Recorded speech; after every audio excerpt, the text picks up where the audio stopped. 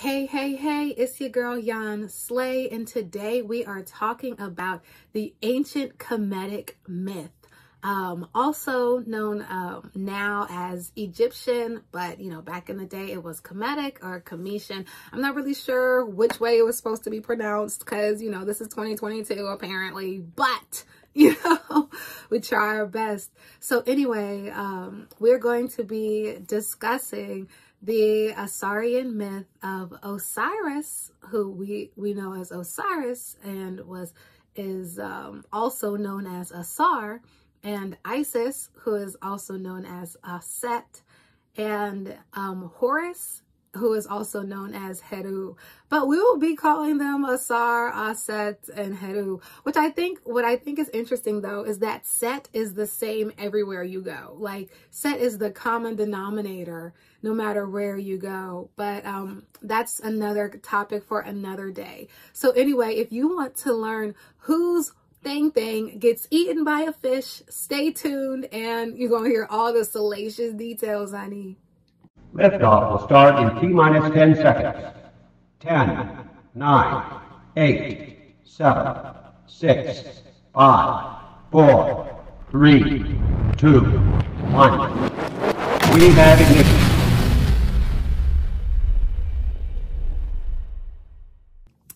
All right, all right, all right. Welcome back. Okay, so let's get into it. So once again, Asar is Osiris.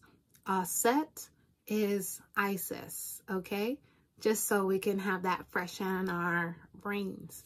All right, so we we're in like ancient Egypt, so like you you can reference um, this graphic piece by Yan Slay herself here um, to get in the mood.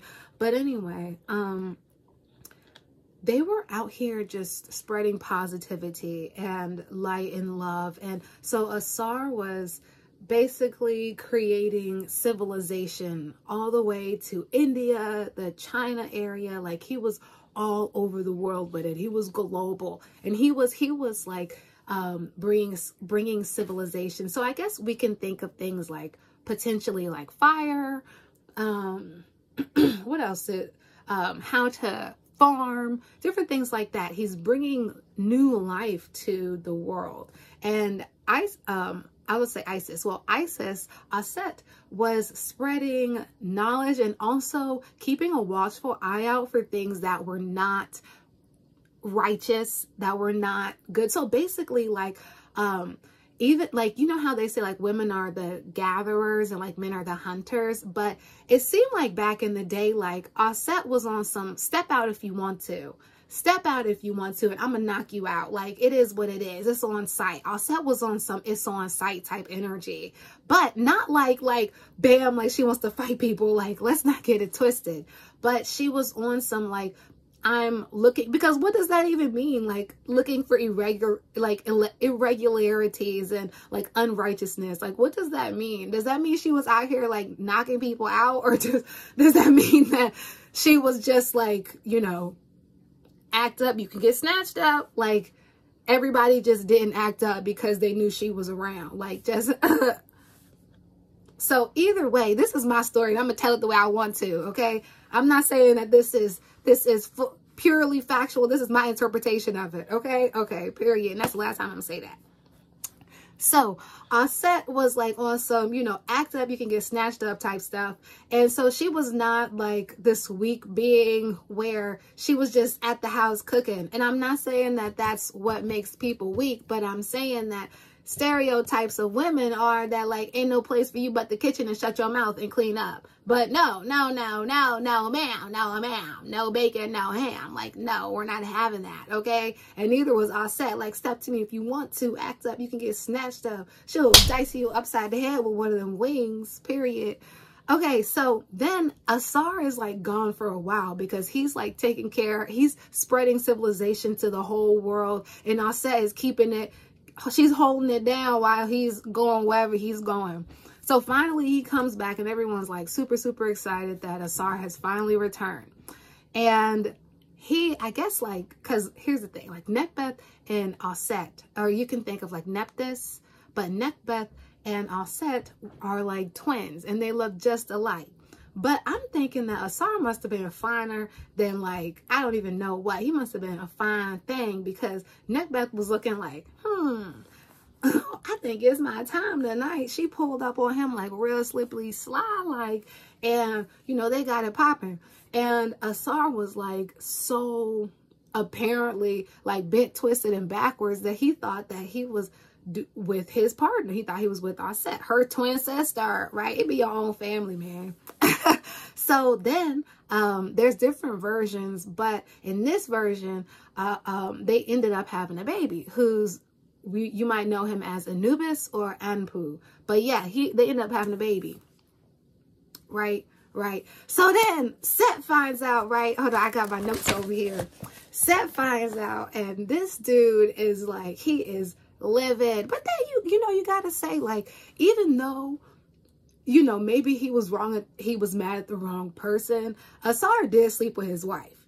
But at the same time, like, Nekhbeth is the one who in this version like put it on him but you know time time has like the story has changed over the years so who knows like what the original original original was but this is the one that i found so anyway set is on some like wow like you slept with my lady okay i got you i got you and here's the thing if you're gonna mess with anybody and you're going to get on anyone's bad side, Set is not the one you want to be getting on his bad side because he already represents like a certain type of rage, a certain type of anger, like that, that inner wild beast. Like he represents that. He represents opposites and opposition all the time. So like anybody to get on their bad side, like Set is not the one, okay? He is not the one, okay? But you know who did it?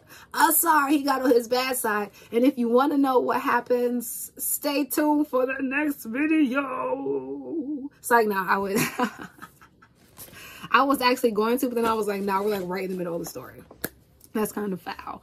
So anyway, Asar like okay so Set is really really mad but he's he's he's like calculated too. He's not just gonna like go up and knock um us us oh, man. Whew then like all the different names because they're kind of similar. He's not just gonna go up there and knock out Asar like that's just not gonna happen. But so he waited right? And it was like time was going past or whatever. They went to a party. And Set comes in. He's like look guys I made this it, it said it was a coffin, but I'm just going to say it was a box because who's just going to lay in a coffin just to do it, you know? So I'm just going to say it was a box. So he pulls this box up and he's like, listen, guys, I made this box. And they're like, oh my gosh, what's in the box? Like, like, what is this? And he's like, this, this only fits the best of the best okay? Because he's not he's not telling them get in here. He's like just saying this is this is an amazing box. And they're all like wow that's a really nice box. And he starts saying like only the smartest can fit in the box. Only the fittest can fit in the box. Only the this like only the best among you can fit in the box. Like really like giving them the ego trip because that's what set does. Like ugh, so anyway, all the deities, all the netters, um, that's what they're called in this kind of thing, netters. So all the netters were like, you know what? Let me get up in that box. You know, like I want to go. I want to, I want to, I want to get in the box. And so they're like all take like or whatever. Oh my gosh, I hope that didn't sound weird. But anyway, it's what happened in the story. So let's just hurry up.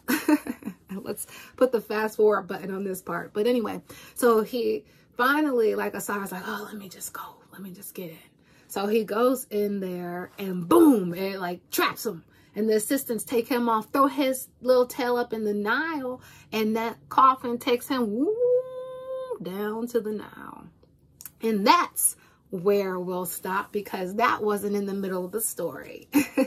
if you want to hear what happens to Asar once he floats on down the Nile River where he ends up and how his whoop whoop gets eaten by a fish, stay tuned. My name is Yan Slay and I approve this message. Comment below and let me know what you thought about this part one. And if you have ever um, been into like mythologies and which mythology I should like tap into because I love myths. Okay. I love myths. All right. Oh, and thank you for gracing me with your awesome and amazing presence. Thank you for watching. Thank you for staying till the end. Um, you are an amazing being. Um, I create art and all that stuff too, you know, shameless self promo right there. But yeah, anyway, um, live your best life, have some fun, learn something new, and discover your passions.